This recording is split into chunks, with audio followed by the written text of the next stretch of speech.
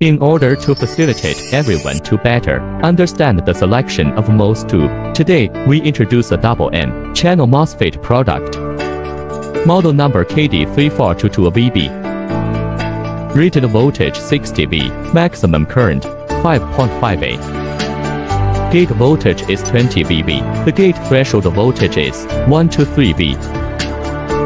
RDS on parameter at 10V, the RDS on is 30 M omega. At 4.5V, the RDS on is 36 M omega.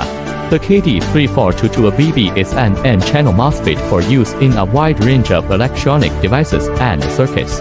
It includes modules for power switches, load switches, power management, and battery protection. This is KD3422VB. Well, today's product introduction of YB is here. If you like it, you can pay attention. Have any questions or need answers? Welcome to leave a message in the comment area.